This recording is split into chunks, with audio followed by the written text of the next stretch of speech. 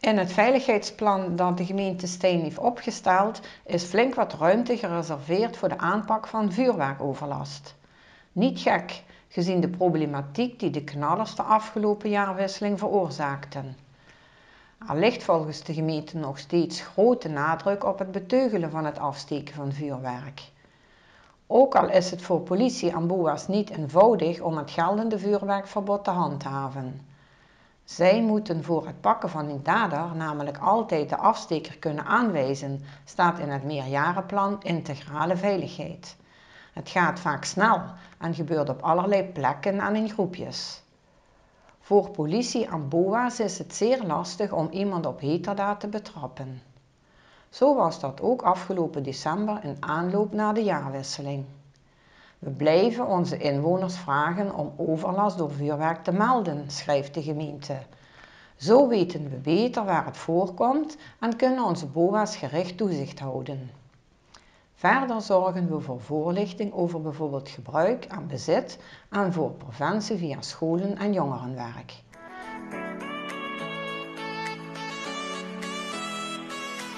Alzheimer Café Steen Elslo houdt dinsdag 5 maart een infoavond over de diverse woonvormen die aansluiten bij mensen met dementie en hun naasten.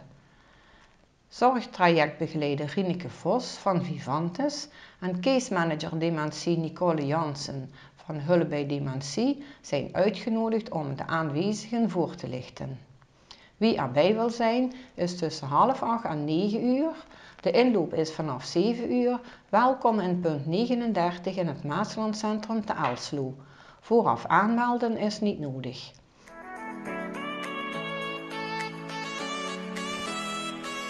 In elke kern van de gemeente Steen, Berg aan de Maas, Urmond, Steen, Elslo en Meers zijn op openbare bankjes bordjes bevestigd met het opschrift Een goed gesprek begint met iemand echt zien. De goudkleurige metalen tekstplaatjes verwijzen naar de landelijke campagne Ik zie je, waarin aandacht wordt gevraagd voor een goed gesprek met iemand die zich eenzaam voelt, depressief is of aan zelfdoding denkt. Stichting 113 Zelfmoordpreventie lanceerde in 2021 de publiekscampagne. En de gemeente Stijn zijn de bordjes geplaatst op initiatief van de Adviesraad Sociaal Domein. Een gesprek aanknopen kan opluchten en het begin zijn van een oplossing, al dus Ellen van Uden van de Adviesraad Sociaal Domein. We hopen met deze campagne bewustwording te creëren over preventie van zelfdoding, zegt wethouder Frank Dassen, die namens de gemeente Steen de campagne ondersteunt. Door de QR-code die op de gouden bordjes vermeld staat te scannen, komen inwoners terecht op de website van 113. Hier kan iedereen de gratis online training Vraag maar volgen en leren hoe je het gesprek aangaat over zelfdoding. Er zijn twee gratis trainingen. De een geeft praktische tips voor gesprekstechnieken die belangrijk zijn om het gesprek aan te gaan met volwassenen, de andere met jongeren. Meer informatie over de campagne is te vinden op www.113.nl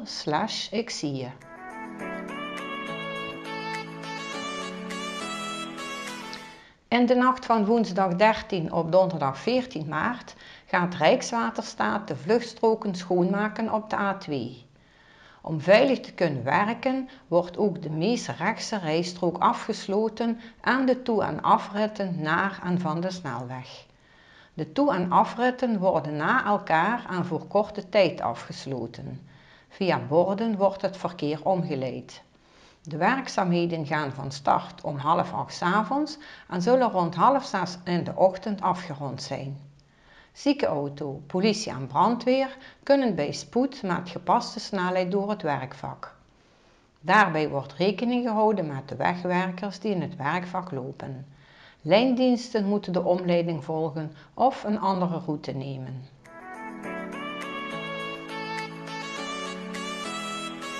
Close Harmony Koor Quint Fusion is een gezellig close harmony koor uit Sittard, klein met een groot geluid.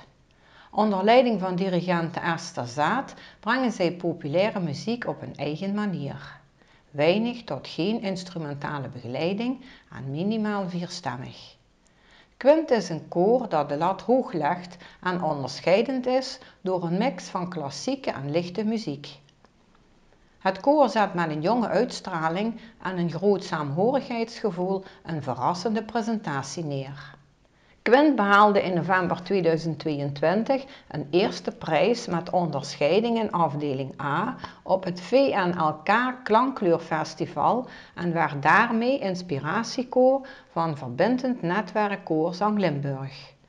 Bij Quint is het belangrijk dat naast het harde werken ook veel ruimte is voor gezelligheid en ontspanning.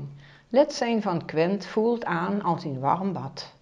Zondag 10 maart treden ze op in de Terpkerk te Urmond. De toegang is gratis en het concert begint om 11 uur.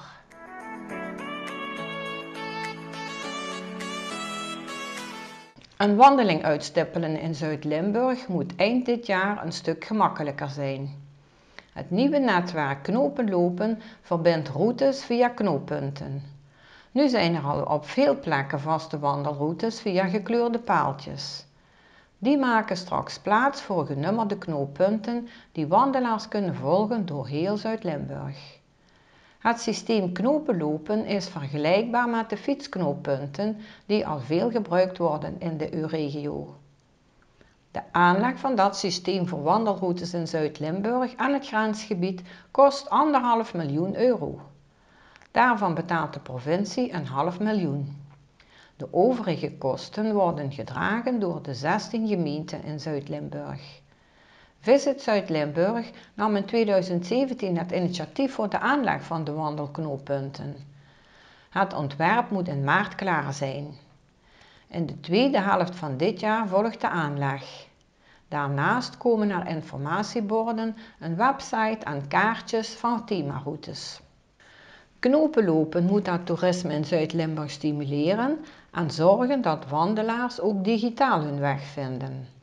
Bij het ontwerp zijn via bijeenkomsten in de betrokken gemeente onder meer inwoners, wandel- en fietsverenigingen, natuurorganisaties en belangengroepen betrokken.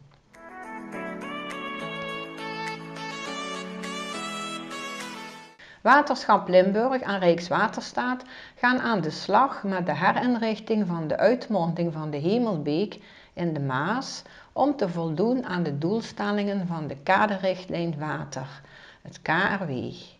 Het doel van KRW is dat Europese oppervlaktewateren uiterlijk in 2027 voldoen aan de normen om het gebied van gezond water en leefomgeving van planten en dieren.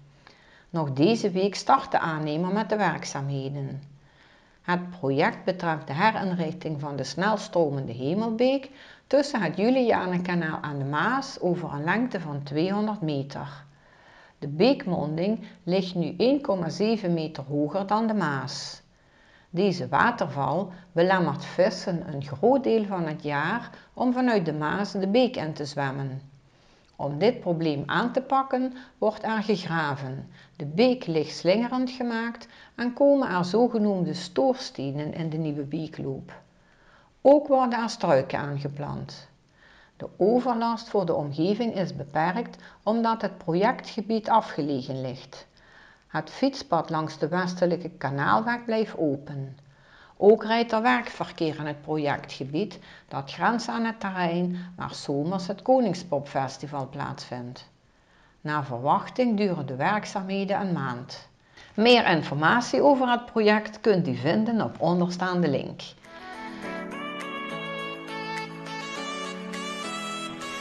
De stichting Ultraloop Stijn organiseert het 29e loopfestijn op zondag 3 maart in en rondom het Steinerbos.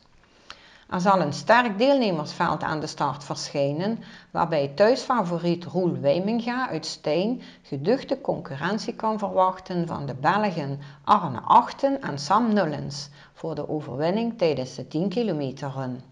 Tevens zullen de AV Cesar jeugdige talenten Jasse Kuipers, Alex Smeets en Bodie Smeets meestrijden voor het podium.